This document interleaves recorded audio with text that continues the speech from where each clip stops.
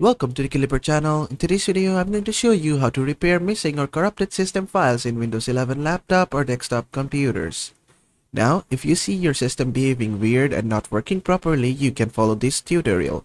But first, what you need to do is just go to your search bar and type cmd, then just hit run as administrator, click on yes.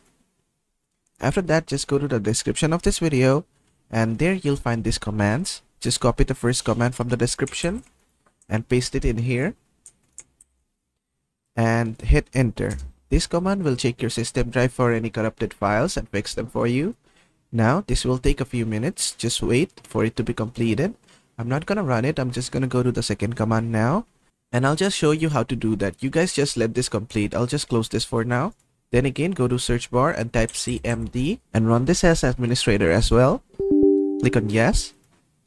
Then just copy the second command from here and just paste it. Then just hit enter. This will deploy an image servicing and repair tool and fix your system. Just wait. And after it has been done, you can simply just close this. And after you have done both of this thing, your system should be working fine. And basically that is how to repair missing or corrupted system files in Windows 11 laptop or desktop computers. I hope this video was helpful. If it was, please give it a thumbs up and don't forget to subscribe.